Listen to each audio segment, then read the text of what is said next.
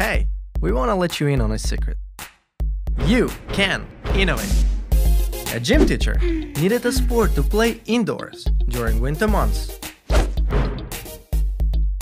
A blind teenager needed a system for reading. A student kept forgetting his flash drive. Notice a pattern? Innovation often starts with real people solving their own problems, innovating for their own use. This is user innovation. Believe it or not, it's all around you. Sports, medicine, software, food, you name it. But how do you become a user innovator? How do you get your idea out into the world? To answer these questions, we'll take a look at real world examples. Interview people like you who solve their own problems. And meet MIT professor Eric von Hippel, who pioneered the study of user innovation. Online education is one of the fastest growing, most accessible ways to learn. I know you all know about online education because you're watching it right now. Many organizations today are innovating in online education. MIT, edX, Coursera, Udacity, but one of them was created as a user innovation. Khan Academy. Khan Academy is an online educational platform for people of all ages from all over the world. Right now, I'm using Khan Academy to study the history of music, while my daughter Maria, Maria. Is using it to learn to count. But how did Khan Academy come to be? How did Khan Academy come to be? In 2004, MIT alumnus Salman Khan began tutoring his teenage cousin Nadia in math. Unfortunately, Nadia lived across the country, so Sal had to teach her over the phone. To illustrate concepts, Sal used online software to write out equations while talking to Nadia. However, meeting on the phone was inconvenient, so he began recording videos for Nadia. Nadia actually preferred the videos to learning on the phone because the videos gave her the ability to review the material as many times as she needed. Soon, other family members and friends began asking Sal to tutor them. He didn't have the time to teach them individually, so he began posting videos to YouTube. Word spread quickly, and soon, thousands of people across the globe were watching his videos. He received letters thanking him for his online lectures and the learning opportunities they had provided.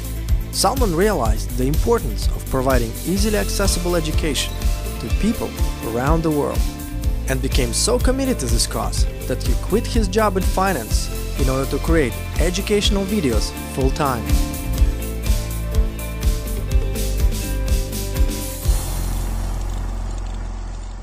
Khan Academy has a huge community of users, yet Salman Khan decided to give the innovation away for free.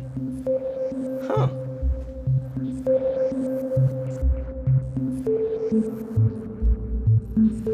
Meet Derya. Derya is an oceanographer and scuba diver who cares deeply about the health of the world's oceans.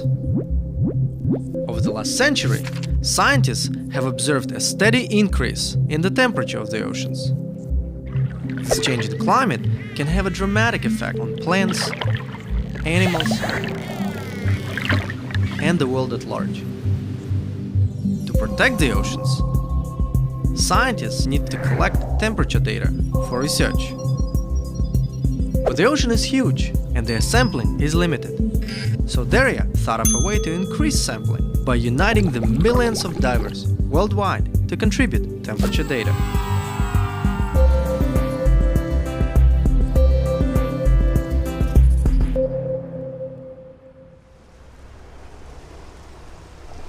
Derya, you are an oceanographer. You study the ocean. What is it like to be an oceanographer? It's amazing. Imagine your office is in the middle of the ocean and there's no land in sight for miles in any direction. That's so cool. You know, I know it sounds like a great life to have, but it does come with its own challenges. For example, how do you get the funding and the seat time when there's so much competition for research funding to study the thing you're passionate about? And even if you do, the ocean is so big, and yet we can only study such a small part of it and get data, but we just don't have enough manpower and funds to constantly monitor the health of our oceans and understand more about it. What could scientists do with the data collected? Monitoring the temperature of our oceans is very important because we already know that the ocean temperature is rising.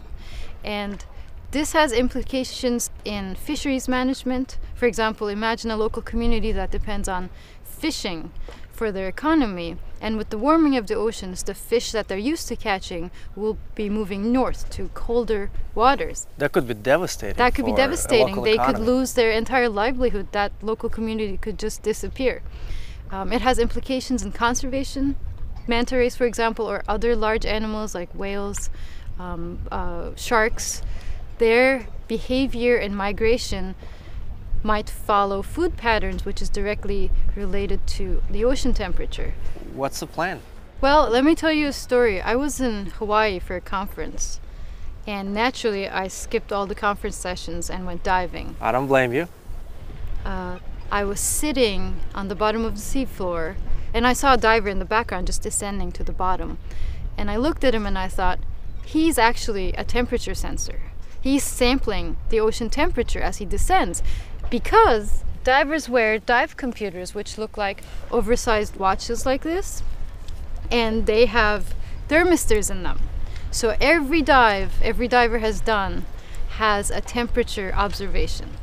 That night, I went back to the hotel room and I bought the domain name Divers for Oceanography with the intention of setting up a platform where scuba divers from all around the world would submit temperature data and then scientists who need these data would come and download and use it for their research. Is the idea to share the data for free? Yes. Let's recap Derya's solution Divers for Oceanography. Derya knows that divers always wear dive computers that record ocean data, including temperature information. Divers from around the world can submit this data to the Divers for Oceanography website, enabling the organization to build an enormous catalog of information. This catalog is freely available to anyone in the world, including scientists who can use the data to improve the health of the ocean and its creatures.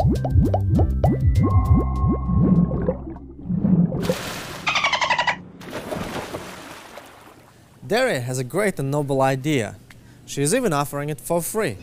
But is that enough to create a successful community? To talk about that, we're going to Eric von Hippel. So, Erdine, what do you have for me today? Derya, Divers for Oceanography. Seems like a really useful idea. What's more, Derya is looking to get it out there for free. Is that enough? I know Derya, and it's a very cool thing uh, that she's trying to do. Uh, what she's trying to do is called peer to peer diffusion. Interesting. Would you define this for us? Well, when you try to distribute an innovation you've made, you can either do it by the marketplace, which is what companies do, they want you to buy it, or you can do it colleague to colleague, user to user, Friend to friend. for free. Exactly. And that's what Derya is trying to do. Well, it's worth it for Derya because she's getting unprecedented research data. Yeah, so she really wants it. She can save research money and all the rest of that, help the oceans, all those things she wants to do. Yeah. So the question for her is well, but what are the benefits on the other side that will induce those divers to do it for her on a long term basis? But she's giving it away for free to the divers. The divers don't really have to pay anything. So, what's uh, what's the challenge there? Yeah, so she's giving the idea away for free. She might be giving away the content, mm-hmm.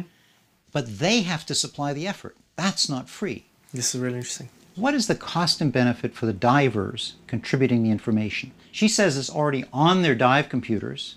That's true. But how do they get it off the dive computers and over to Derya? If she can make that as easy as Wikipedia, maybe she's got a good situation. If it's hard, then she doesn't. They might not want to carry through. Yeah. Once she sees the costs, she can say, oh, well, maybe I can make it more fun for them. I can lower their costs. I can make it a video game. You know, I can create a leaderboard so everybody knows who's first. Yeah, there's community recognition. Yeah, yeah, all that stuff. This is true for any user innovator who wants Yeah. to diffuse things. So think about decreasing costs for the adopter and increasing the benefit for them as well. That's right. Yeah. Now, her diffusion costs are worth it because she gets all that data. But that's not always the case. Most user innovations are different. Let me tell you a personal story. If I Those are the best. so I had a tendon problem with my ankle. Oh no. It's fine now, Good. but I went to the surgeon and he said, "Ah, you know, kid, it's inflamed. Put on this big heavy boot and walk around with it for 2 months." Like, like a skier who lost his skis. Yeah, yeah, yeah, exactly. A big ski boot. You couldn't bend at the ankles and so on. So I tried it for a week, you know, and I went back and I said, geez, I can't even walk in this thing. And he said, yeah, well, you know, that's the way it is. So I went to the hardware store and I just got some stuff and I, I built something that just reinforced that particular tendon instead of the whole boot thing.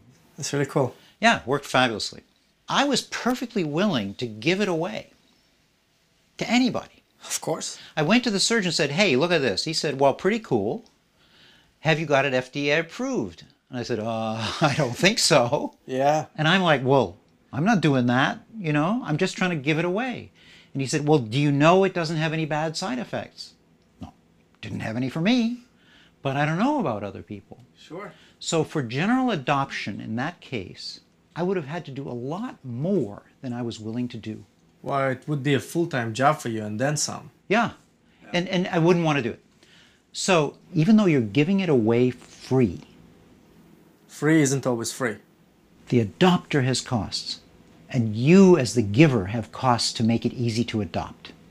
I was the user innovator, That's right. but it wasn't worth it to me. It's um, of great benefit to adopters. Yeah. But your cost is. Yeah.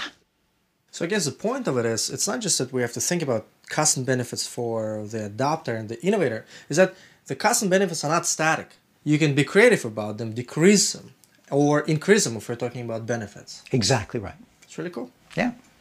Well, Eric, great to see you. I want to go and check back in with Derya. All right. Now let's check back in with Derya and find out what motivates her to invest herself into divers for oceanography and what her plans are for the development of this community.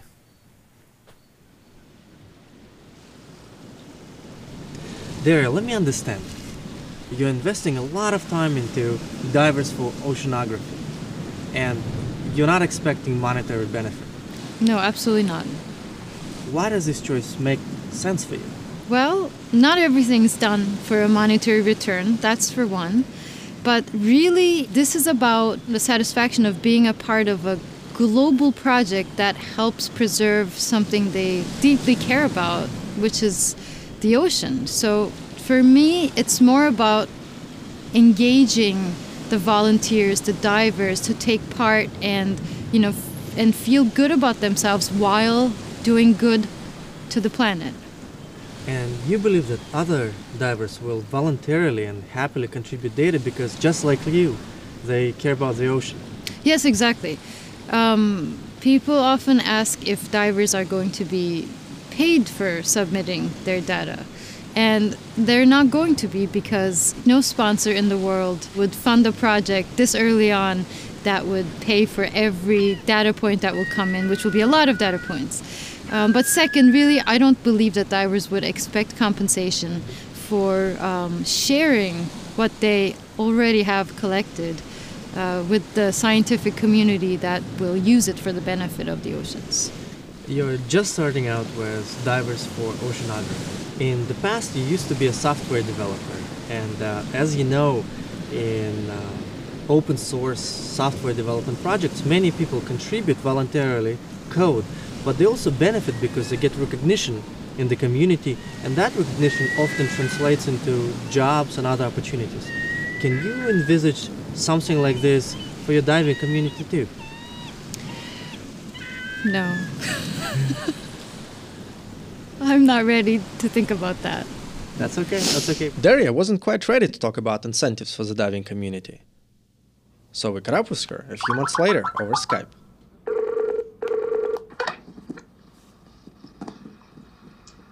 Derya! Hi, Ardeen. How are you? Doing great. The course is live. It's awesome. Fabulous. What's happening? Where are you now? I'm home in Urla, Turkey. Bring it on. Hey, uh, Derya, we want to follow up with you and ask a few more questions. Sounds good.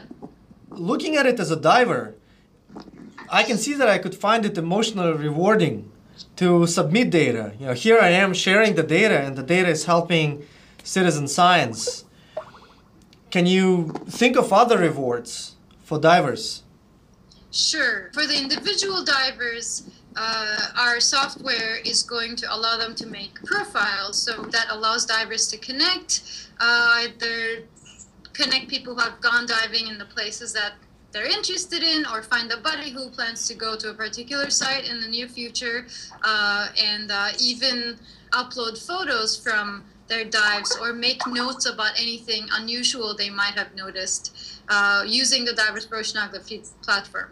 That's really awesome. And uh, the most important question that needs to be asked is uh, Will anyone be posting pictures of mermaids? well, you never know what you might see, yes. And by the way, can temperature data be useful to divers themselves? Absolutely. Uh, let's say you want to go diving this weekend in Urla. You can scan the Divers Pro Oceanography platform for the most recent data on Urla for the particular dive site you want to go to. Cool. So, what are you going to do to make it easy for divers to submit their data? I'm going to take advantage of technology. Some of the newer dive computers have uh, USB cables that connect to desktops or laptops. And with those computers come a software that is basically a digital logbook. It's just like an Excel file that keeps track of your dives and it automatically downloads from your dive computer. So our software is going to interface with these existing digital logbooks. And at that point, all the diver will have to do will be to say, send the data to divers for oceanography and we will receive temperature information without the diver having to type anything additional. Wow, almost completely automated. The diver will still have to click send, but Yeah. that's about it. No manual data entry, nothing. That's really cool because uh, it's clear that some divers are already doing that, and then in the background, the data could be seamlessly uploaded to your platform. Exactly. What is your long-term plan for sustainability? This is nonprofit, and we're all curious how are you're gonna make it sustain itself, survive. All the uh, resources that have been put into this project so far, including time and money, are uh, basically donated by volunteers. It's our own time, it's our own uh, resources. But that can only continue up to a point. There are small grants we are eligible now, which we are working on getting. These are some of these are government, some of these are non-governmental, private uh, do- donors, and some diving uh, related communities. But there will be a time when the most appropriate and a sustainable step to take for the future of this project will be to host it uh, in a academic institution or a governmental institution, which will have the infrastructure, the hardware, uh, and the manpower to maintain uh, and upgrade the system as more data come in. So to get it started, you are relying on collaboration of some, you know, skilled, passionate people. Then small grants will help you show proof of concept that this is viable, this is valuable, and then you will integrate with a larger research institution to really bring divers for oceanography to critical mass. That's exactly right, Ardeen. It's really cool, and um, I really hope it comes to full fruition. Like really, uh, it's an awesome project. Thank you, Ardeen. It was a pleasure talking to you, and I look forward to seeing you in Cambridge. Enjoy the travels. Don't lose the passport. All right. Take care. So, what did we learn here today? Peer to peer diffusion happens when an innovation is shared without the exchange of money. But free isn't always free. Adopters and innovators both have costs, and it's up to you to make diffusion worth it for both sides by reducing costs and increasing benefits. So, why is it important? Users benefit from their own innovations. That's fabulous. But if society is going to benefit as a whole, those innovations have to get out there to others. Peer to peer diffusion is everywhere. How to do it is something very important for user innovators to learn. So, the question is How will you share your solution?